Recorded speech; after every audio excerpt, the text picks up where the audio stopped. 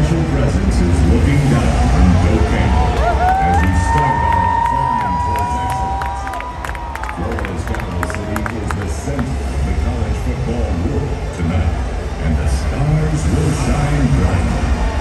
And when Osceola's Spear pierces the turf at midfield,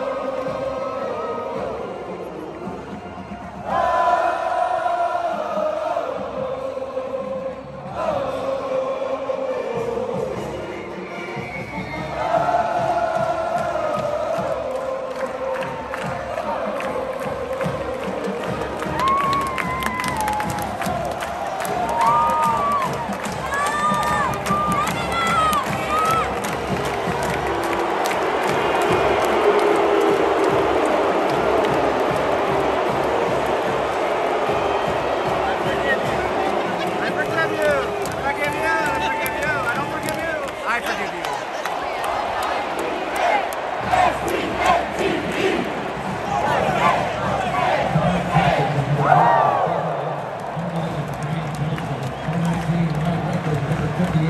Anita Payne.